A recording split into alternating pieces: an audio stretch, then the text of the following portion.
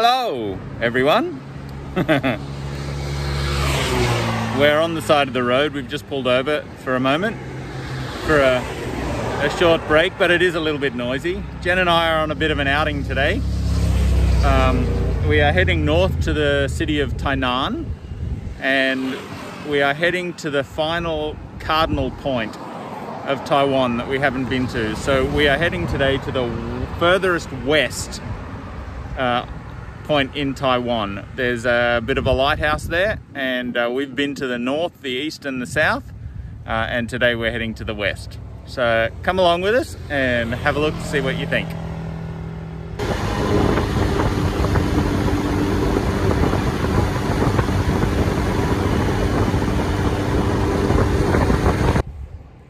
Well, it's taken us a while.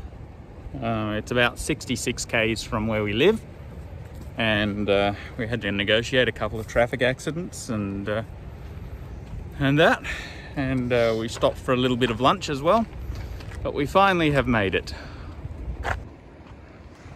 It's uh, it's not as grand or as uh, obvious as some of the others but this lighthouse here in front of us this tower is a lighthouse and uh, it is at the most western point here in Taiwan. We're going to go up a little bit closer.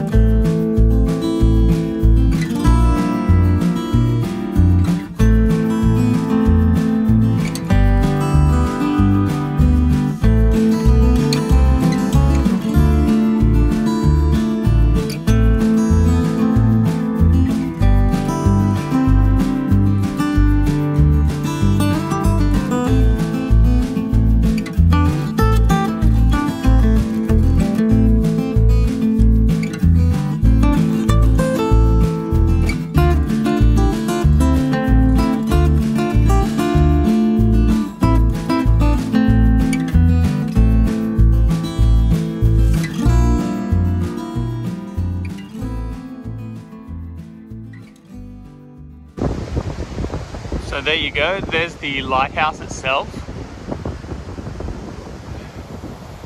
And here, just here, is the beach at the very far most western point of Taiwan. Out over that way, apart from ships, if you head out over that way, you'll run into mainland China. And uh, up north up there is Taipei. East is Hualien. And south down that way is Kaohsiung. And Jenny. So we're kind of glad we knew this was a little bit of a letdown compared to the other ones uh, because really it uh, is the dodgiest of all of the four points. Um, the lighthouse is a rickety metal tower and uh, with a blinking light on the very top. But uh, anyway, we can now say that we have been to all four cardinal points in Taiwan. We are going to head back to the bike and uh, work out what to see along the way back.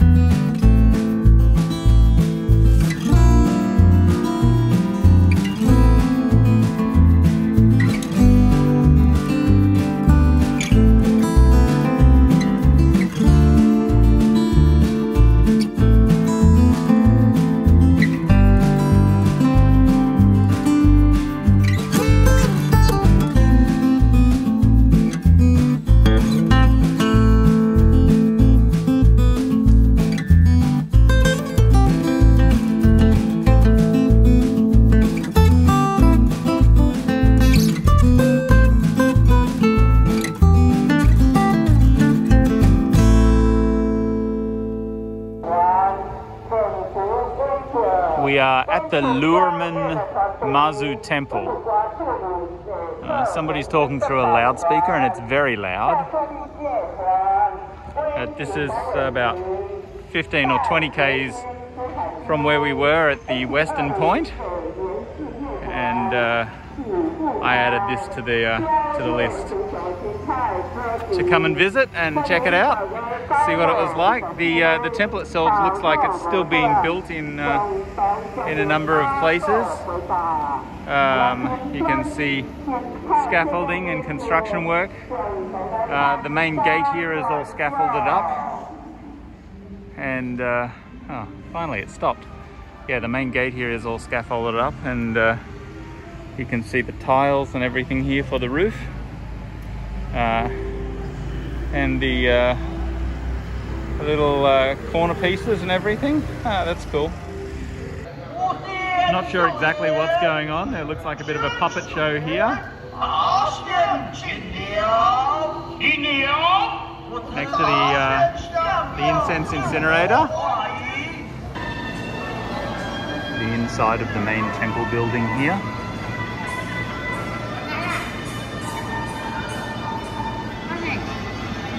A ship just here. Not sure what the ship is or what it represents, but it's very cool.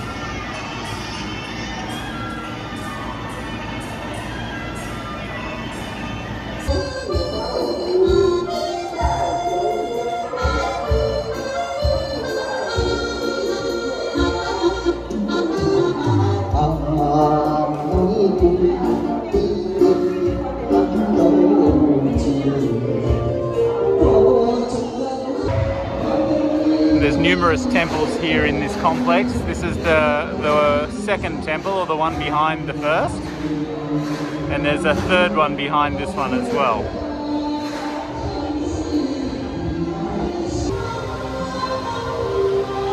The lights, we often see them in, uh, in the temples, but these ones are on a spinning platform and they're rotating and they're very cool.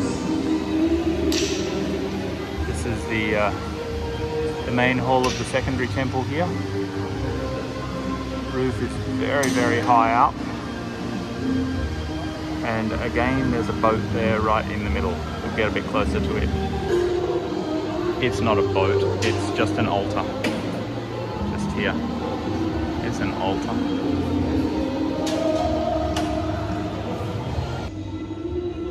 This is the temple right at the back and it is just massive it goes way up high. Come back down. There's the incense burner there.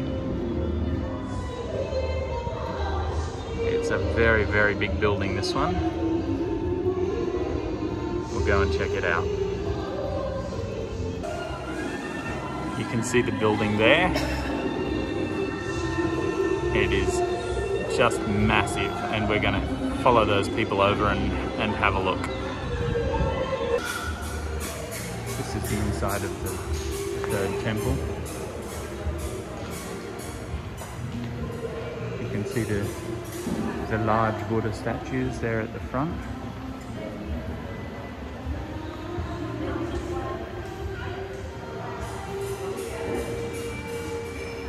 Sure precisely who they are.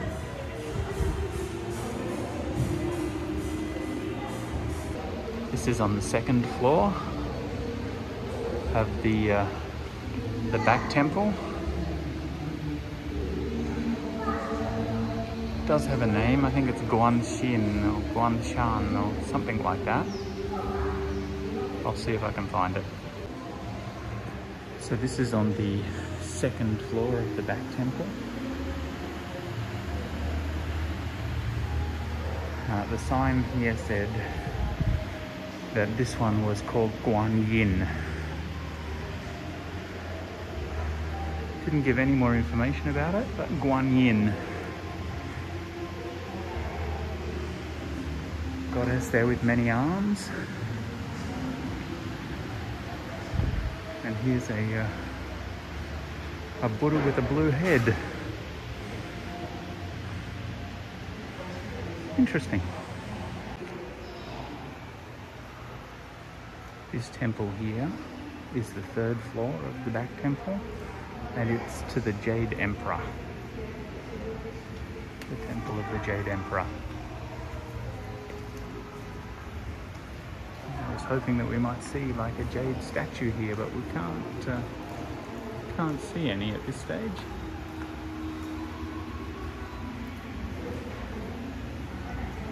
Yeah, the Temple of the Jade Emperor.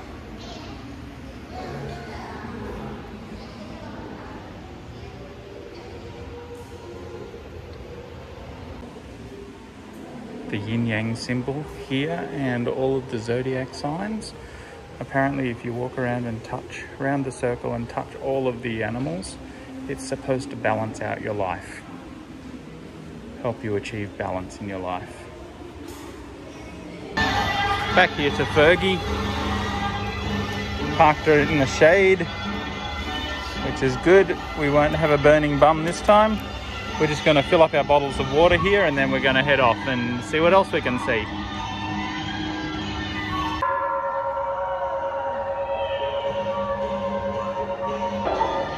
We're not sure what the go is, but there's a whole lot of people here, all lined up, ready to go in. The bell is tolling. They're carrying Buddha statues and Buddhist statues. You can hear the fireworks cracking.